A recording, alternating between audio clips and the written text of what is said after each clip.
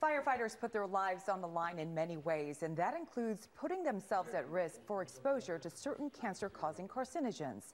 In fact, the World Health Organization deems cancer as the leading cause of death for firefighters. And that's why the month of January is dedicated to firefighter cancer awareness. This morning, we have two very special guests who are passionate about prevention. LA City firefighter and paramedic Daniel Chavez and LAFD firefighter Derek Urwin he has dedicated his PhD in chemistry to studying the topic. We will discuss some of that research shortly, but first I want to thank both of you for being here today. It's an important message you want to spread, you know. Uh, Daniel, you are a cancer warrior and now battling some difficult rounds of chemotherapy. Can you tell us about your journey into the fire service and when you discovered uh, you had cancer?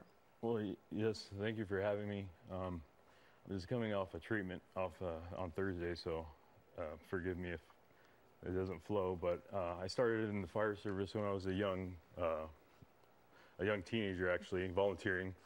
And then I progressed through CAL FIRE, mm-hmm. worked for CAL FIRE for 10 years, and now I've been with LA City for about seven years now as a firefighter paramedic. I work in downtown LA mainly. Um, I was diagnosed with cancer uh, on J- July uh, 19th of 2022. Mm-hmm. Um, the tumor was so big, it, it, was already the size of a plum. Oh. So they had to do uh, some surgery right away. They removed uh, about 12 inches of my sigmoid colon.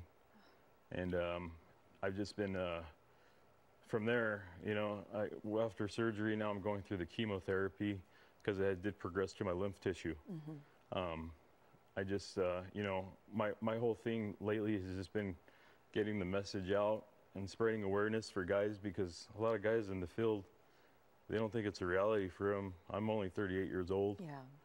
Um, so it, it, came as a shocker to me and my family, but you know, it's been a it's been a rough road. But um, the guys at the fire station, you know, not only at my firehouse but at other firehouses, Downey mm-hmm. Fire, um, LA City Fire, they really um, they really took care of me. Mm-hmm. You know, because you know, once my workman's comp got denied, it was it was rough. Yeah. You know, but they made it to where I didn't have to feel worried. They took care of me. They started a fundraiser.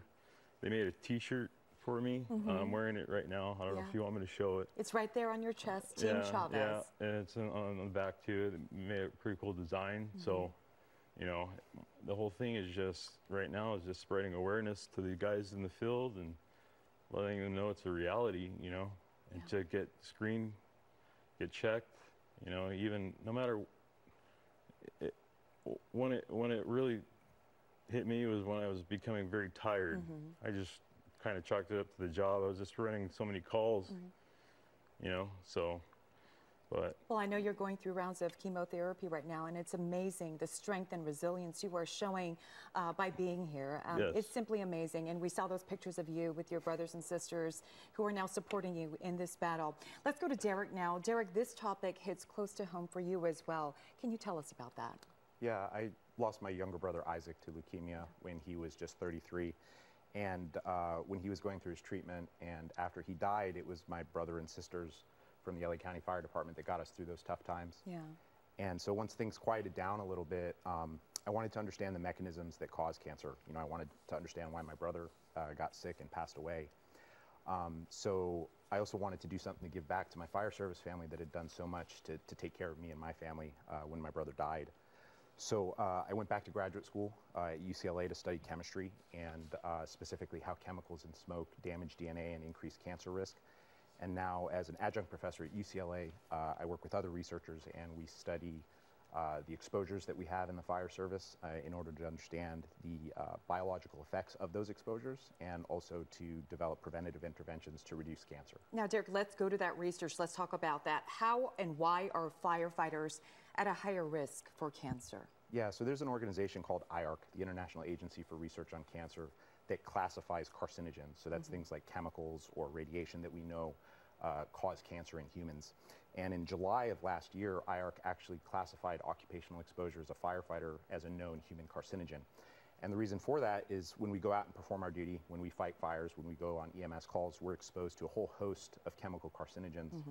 uh, things like chemicals in smoke, uh, diesel exhaust, uh, shift work with sleep disruption, and the list really goes on from there. And the problem is those exposures cause cancer promoting biological effects that come in the form of uh, DNA damage, that cause DNA mutations, uh, epigenetic changes, and other mechanisms that increase our risk for cancer. So we have to, wherever possible, reduce our exposures while always, you know, we're, we're firefighters. Our job comes first. When we're called, we're going to go and fight fire. But we have to do whatever little bit we can to keep ourselves healthy while doing our jobs well. Yeah, this really hits close to home because it affected your your biological family as well as you know you want to do this for your fire family as well. That's right. Yeah. Yeah. Well, Derek and Daniel, thank you both for being here and sharing uh, your message. This is so important. Now, we want to share this with you as well. If you're a firefighter wanting more resources or know someone who needs to get connected, the International Association of Firefighters and the Firefighter Cancer Support Network, they have a team of people to help you. You can find their information on our website, kcalnews.com. We'll have much more news right after the break. And again, Daniel, Derek, thank, Thank you. you for sharing your story and this important message. Thank you for having us. Yeah, we'll be right